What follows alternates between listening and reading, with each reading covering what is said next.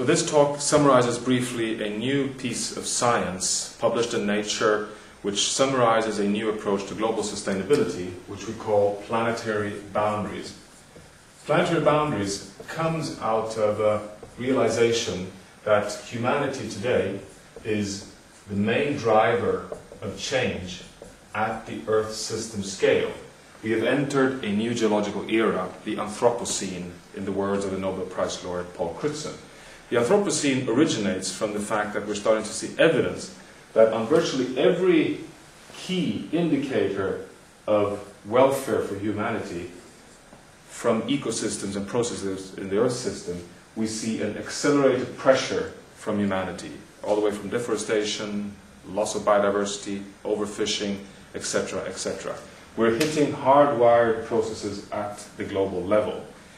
Now, the question then is what does this mean for development and what does it mean for the way we address um, sustainability? This question has a very strong relevance to resilience as well, because we are therefore fiddling with the capacity of the Earth system to regulate itself, to take disturbances and stay in a desired domain. We have defined the Holocene, the last 10,000 years of human history, as the stable, desired state within which humanity wants to stay and has stayed during the whole period that has supported civilizations as we know it today. It's remarkable to see over just the past 100,000 years how parameters which are fundamental for development have been swaying up and down in a tremendous way until a point just at the start of the Holocene when these parameters have stayed very stable. So we take the Holocene as the desired state and with a resilience perspective then analyzing the risk that we come over thresholds and the risk that we fall into undesired states outside of this Holocene stable domain. To explore the risks of pushing ourselves out of the Holocene, we invited 25 or so leading international global change scientists to explore which are the Earth system processes that we have to be stewards of to stay within this desired Holocene state, to avoid that we tip over unacceptable, potentially disastrous thresholds for humanity.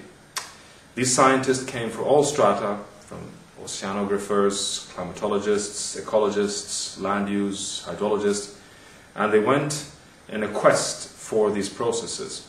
And these processes then summarizes the planetary boundaries. Theoretically, it is a very simple concept. It basically originates from the realization from science that in fact our pressures on ecosystems and the response of ecosystems is often nonlinear.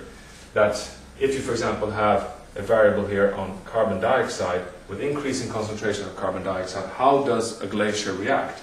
Well, it may react in a very limited way for a long time until it reaches a trigger point where it crosses a threshold. That is the threshold point which we don't want to push the whole planet to. A planetary boundary is the safe level beyond which you don't want to transgress to avoid coming close to that threshold. We've put this boundary level at the lower edge of the uncertainty zone around the threshold because thresholds are very difficult to identify. The point below this boundary is the safe space for humanity. So that's the definition, and we went on a quest, and we didn't end up with one boundary, but on the other hand, surprisingly, we didn't end up with 25. These scientists propose that so far there are only nine identifiable processes in the Earth system that have clear risk of causing disastrous or unacceptable large threshold effects if we cross beyond safe boundaries. Now, which are these nine? Well, not surprisingly, climate change is one of them. Climate change, potentially the one discussed most today in the policy debate. Climate change, we then use the latest science based on the UN IPCC all the way to the latest science, coming up with a threshold which we believe should be in the order of 350 ppm carbon dioxide concentration in the atmosphere, or equivalent to 1 watt per square meter of warming.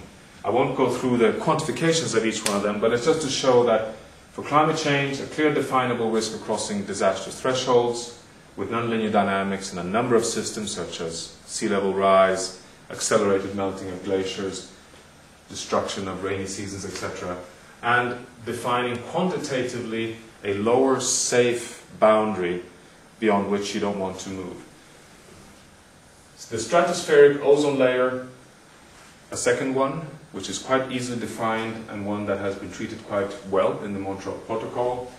Ocean acidification, so oceans being one, very closely linked to climate, and there we took the risk of having an acidification process that leads to collapse of marine um, marine fauna and, and uh, marine life as the indicator, and there again it's possible to quantify, we believe, a parameter surrounded by the aragonite saturation ratio in the oceans. And these then all being, so to say, closer to the atmosphere and, and ocean, large ocean ecosystems. Freshwater use as one planetary boundary, which at a global level is starting to come to a point where it may interfere with the ability of particularly terrestrial ecosystems to sustain biomass to the extent that it can contribute to regulate climate. We took here the consumptive water use at the global level as one of the thresholds. Land use as another one, and here again a very close link to climate, to biological diversity, to the capacity of the Earth system to take perturbations. Biological diversity and loss of biodiversity, which may surprise many, but it's becoming increasingly clear that biological diversity is, has a function of regulating ecosystems, not only to be a preservation of species. The large nitrogen and phosphorus cycles, the interference with, with these cycles, and then two parameters that we weren't able to quantify, namely chemical pollution and finally aerosol loading. Interesting with these boundaries, not surprising, is that they interact with each other, and we believe that as long as humanity stays within the safe boundaries of these, we have the possibility to thrive and develop within the safe operating space of the boundaries. We estimate, even though very tentatively, that we may have transgressed three of these boundaries the one on nitrogen, loss of biological diversity, and climate, that we are in a danger zone on these three.